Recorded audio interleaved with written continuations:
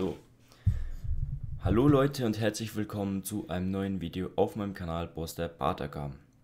Heute gibt es mal ein sehr informatives Video und zwar versuche ich euch heute alle 8 Batagam-Arten mal relativ kurz und prägnant zusammenzufassen, dass sie existieren, welche überhaupt existieren, wo sind die Unterschiede, welche kann man halten im Terrarium und welche befinden sich in welchem Lebensraum. Genau das alles möchte ich heute mit euch ein bisschen besprechen. Ich würde sagen, nach dem Intro geht's direkt los. Let's go.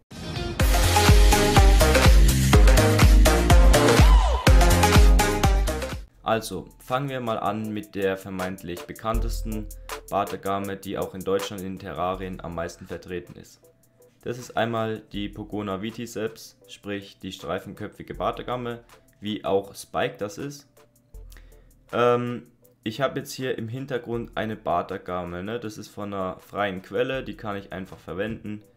Ähm, und ja, das ist jetzt im Prinzip eine Pogona viticeps, das kann man gut erkennen an dem prägnanten Kopf, der eben sehr kantig ist und äh, der Bart, den die Bartagame aufstellen kann, ist auch nicht bei jeder Bartagame der Fall. Da komme ich auch noch dazu. Sie hat jetzt eine angenehme Größe, ist jetzt nicht gerade die größte, aber es könnte sich hier auch schon um ein äh, Burgona Viticeps Weibchen handeln. Allein der weichere Farbverlauf und die Weib äh, weicheren Formstrukturen und daran kann man das Weibchen gut ausmachen. Wir haben jetzt hier aber eine Burgona Viticeps, das heißt, die werden von der Länge in etwa 25 bis zu 25 cm Rumpflänge und auch nochmal ungefähr dann 25 cm Schwanzlänge. Schaue ich mal kurz in meinen Daten äh, genau nach. Das sind 5, ja, okay, der Schwanz kann tatsächlich sogar bis 30 cm sein, also bei der Burguna Viti selbst ungefähr im Schnitt können die bis zu 50, 55 cm lang sein oder werden. Und der Spike hat es nicht ganz erreicht, beziehungsweise noch nicht. Er ist jetzt bald 5 Jahre aber zumindest er hat in etwa 43, 44 cm und das kommt dann von daher schon ganz gut hin. So, die Lebenserwartung bei Pogona viticeps ist etwa bei 10 bis 15 Jahren. Ähm, ist auf jeden Fall eine starke Leistung ähm, für so ein kleines Tier auch, das im Terrarium gehalten wird. Im Prinzip ja Zwangshaltung oder eingefangen halt. Aber die können in freier Bahn in Australien auch dann bis zu 20 Jahre in freier Wildbahn überleben. So, wo leben die eigentlich? Ist klar, Batagam sind australische Tiere.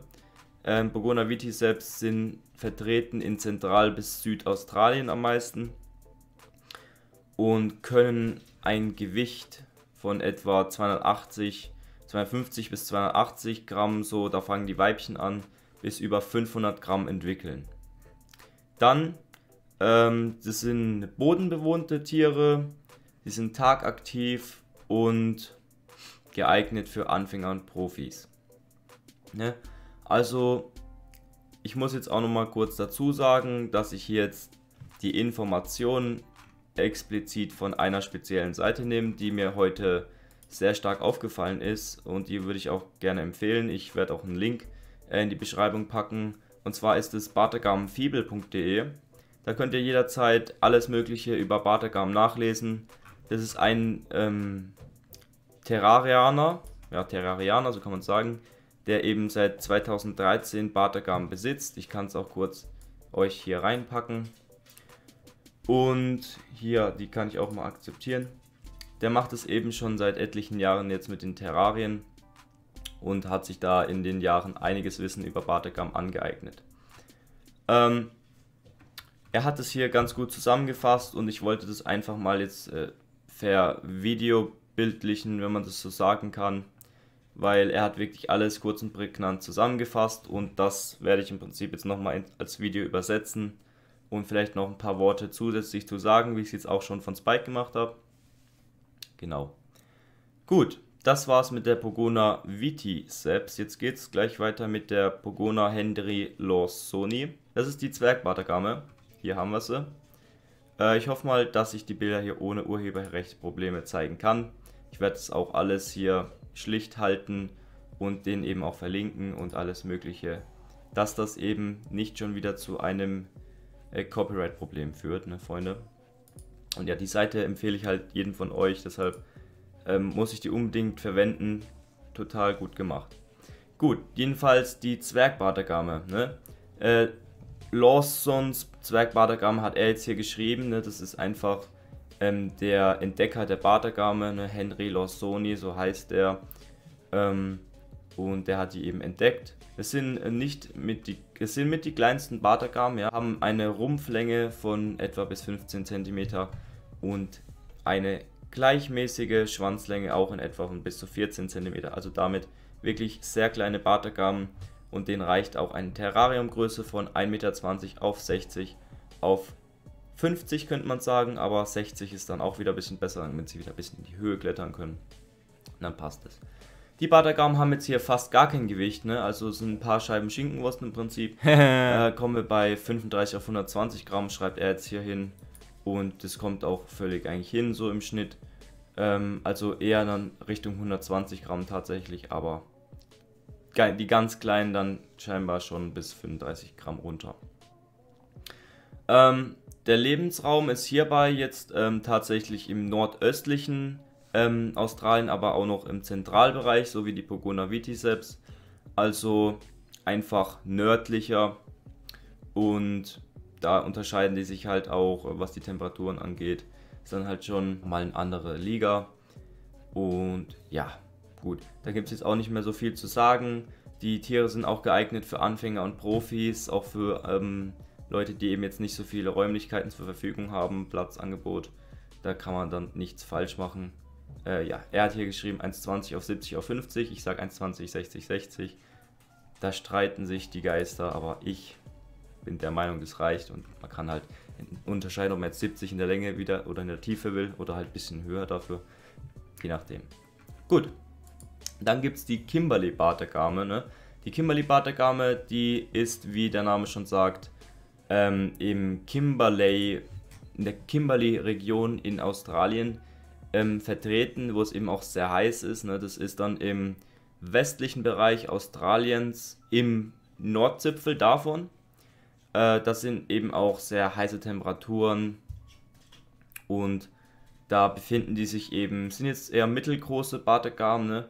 also sprich, die haben jetzt hier wieder eine kleine ähm, Rumpflänge, so wie die Zwergbartagamen, aber dafür halt einen ziemlich langen Schwanz. Ne? Das ist auch für viele Bartagamen-Arten so vertreten, dass sie eben einen sehr langen Schwanz haben im Vergleich zum Körper. Lebenserwartung hier auch wieder gleich wie bei Pogona viticeps. Ähm, und der Zwergbadagame. Allerdings würde ich sagen, dass diese hier durch die Temperatur auch allein schon nicht älter werden können, auch wenn sie gut angepasst sind, weil dann die Ta Temperatur insgesamt das Tier dann auch ein bisschen strapaziert und somit ähm, die Lebensdauer dann auch ein bisschen einschränkt. Diese Tiere ähm, darf man nicht importieren bzw. exportieren oder im Prinzip nennt man das ja dann importieren, wenn wir sie nach Deutschland reinbringen, genau. Äh, keine Ausfuhr erlaubt, ja, das stimmt. Ähm, die sind sehr schwach vertreten, die gehen immer mehr zurück, die Zahlen der, dieser ähm, Pogona Unterklasse und deshalb darf man die auch nicht aus der Wildbahn entnehmen. Und das finde ich auch gut, dass sie dann somit geschützt sind. So, der ähm, Fachbegriff ist Pogona microleptidoda, lepidota, alles klar, habe ich auch noch nicht oft gehört. Äh, Pogona microlepidota, alles klar. Gut, und jetzt nochmal zum Begriff Pogona kurz. Pogona ist im Prinzip vom Griechischen, glaube ich, abgeleitet und das hieß da das Wort Pogon. Und Pogon bedeutet im Griechischen der Bart. Bartagamen ähm, haben daher den Bart, äh, Badagam haben daher eben den Namen bekommen, Pogona. Und Viti selbst zum Beispiel dann streifenköpfig. Und Pogon der Bart, Pogona ist dann dementsprechend das Tier benannt, Pogona heißt Bartagame und somit ergeben sich dann immer die Bartagam-Namen, zum Beispiel Pogona Henry Lawsoni, was eben jetzt nicht für irgendeinen äh, farbigen Bart steht, sondern eben für den, der sie gefunden hat. Gut, als nächstes kommt die Pogona Minima. Ne? Das sagt auch schon ganz viel aus hier. Minima von der Größe her. Ne? Die haben jetzt nämlich hier wirklich ganz kleine Rumpflänge von 11,5 cm. Und der Schwanz hat hier auch maximal 24 cm, was aber schon doppelt so lang ist wie der Rumpf. Äh, Lebenserwartung ist hier auch wieder 10 bis 20 Jahre. 20 Jahre wiederum in der freien Wildbahn. Ähm, sind tagaktiv und können gut klettern.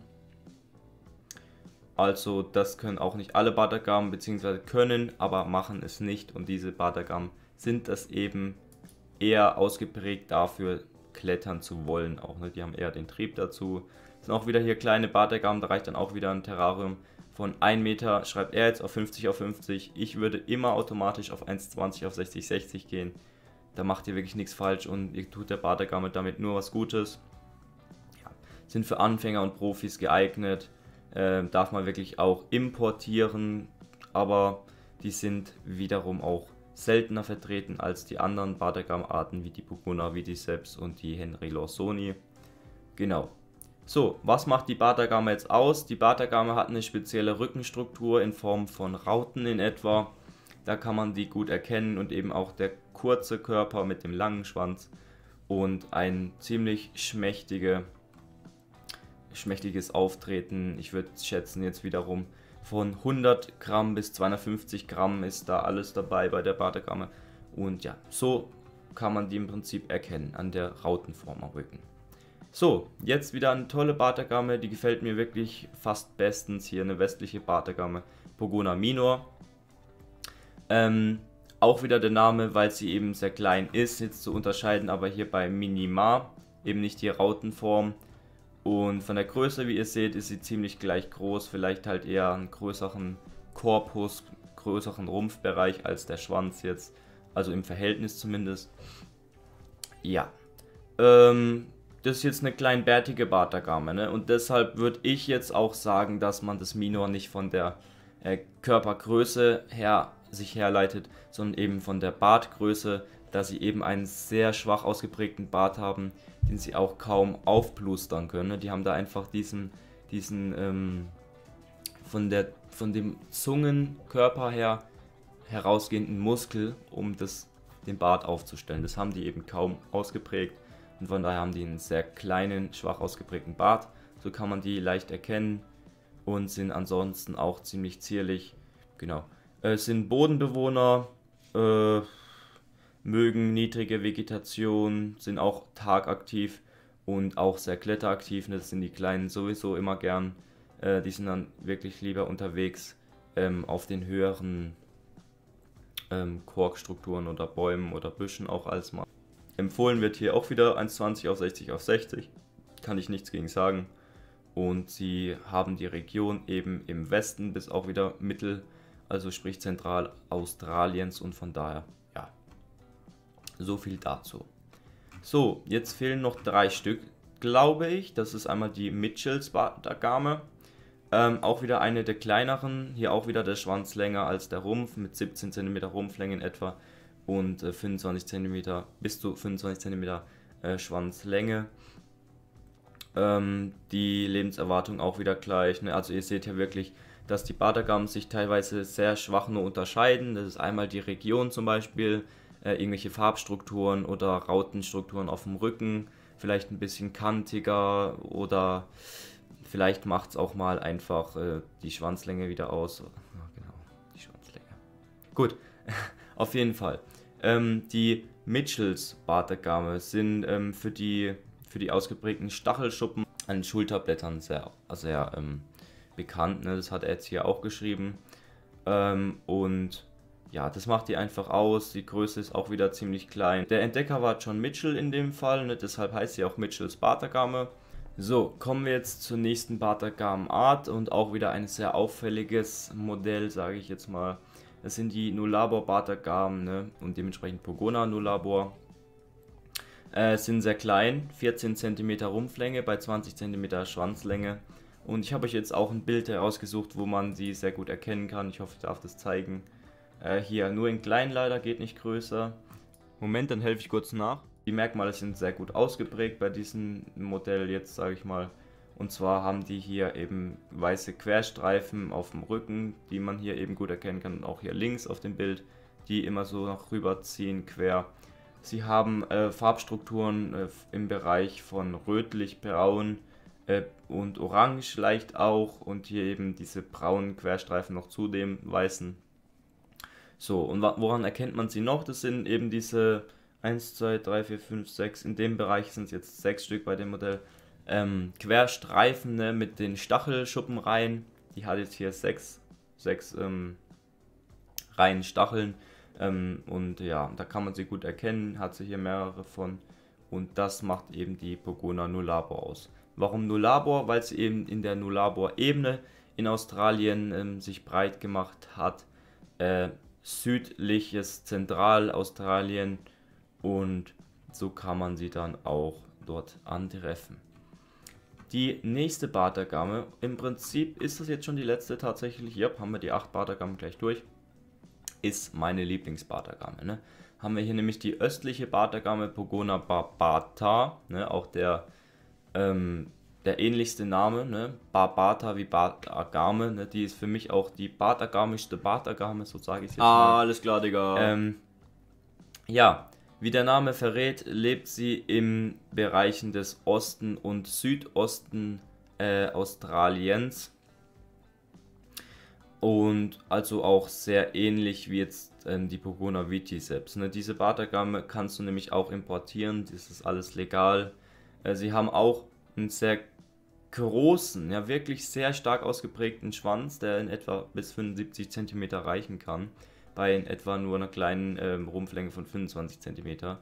Im Prinzip ist das jetzt hier die große Version der Pogona Viticeps, hier auch im Hintergrund mein Spike. Kann ich euch auch mal kurz zeigen hier. Upp, wie ihr hier seht, ich sehe ihn selber kaum, ich kann es euch nur kurz erklären. Ähm, streifenköpfige Bartagame, ähm, Farbstruktur leicht orange zurzeit mit braunen und hellen Stacheln auch. Ja, ich hoffe, ihr könnt es kurz erkennen. Ähm, er sieht auch sehr farbig, sehr frisch zurzeit aus, hat sich in der letzten Zeit auch ein bisschen gehäutet und ja, gut, das dazu. Aber nochmal zur östlichen Bartagame. Die kommen auch hier beim aufs höchste Gewicht, ne, wieder 250 Gramm bis über 500 Gramm, würde ich jetzt sagen. Er hat es jetzt hier auf 500, ich würde sagen, es geht noch ein bisschen höher. Äh, kann man auf einmal nicht direkt eine Grenze festlegen, so bei 500, aber ist in Ordnung. Lebenserwartung auch wieder gleich wie die allen anderen. Bodenhaltung ganz normal, also nicht wie bei den Hühnern, sondern bodenbewohnt und tagaktiv. So, er hat jetzt geschrieben, die sind für Profis geeignet. Das kann man aber gut verstehen, weil sie schwerer zu handeln sind und auch wieder ein anderes Futterangebot haben und auch mehr Bedarf an Futter haben und mehr Pflege, weil sie eben auch ein großes Tier sind, dem man dann dementsprechend auch ein größeres Terrarium noch halten muss und alles ein bisschen schwerer zu handeln ist. Ne? Und ja, die Pogona barbata hat ähm, eine Anforderung des Terrariens, so würde ich es zumindest sagen, von 1,80 Meter auf 1 Meter auf 80 Höhe dann noch. Da weiche ich wieder ein bisschen von ihm ab. Ne? Das Bike hat 1,50 auf 80 auf 80. Aber diese äh, Bartagame, ähm, die jetzt hier wirklich auch bis zu 75, 80 Zentimeter lang werden kann, würde ich wirklich sagen, braucht es echt, die braucht es wirklich. Eine 1,80 Terrarium auf 1 Meter auf 80 Zentimeter. Gut, ah, er hat jetzt hier geschrieben, Gesamtlänge von 75 Zentimeter, ja. Äh, geht auf jeden Fall noch drüber raus, ja. Habe ich jetzt gerade auch gesagt, ist über 80 Zentimeter. Aber das ist wirklich ähm, in freier Wildbahn nur, sonst äh, werden die auch vom Terrarium schon eingeschränkt. Ähm, jetzt haben wir dann alle ähm, Agamen durch. Ich kann euch die Seite wirklich nur nochmal empfehlen. bartagamenfibel.de könnt ihr gerne mal vorbeischauen.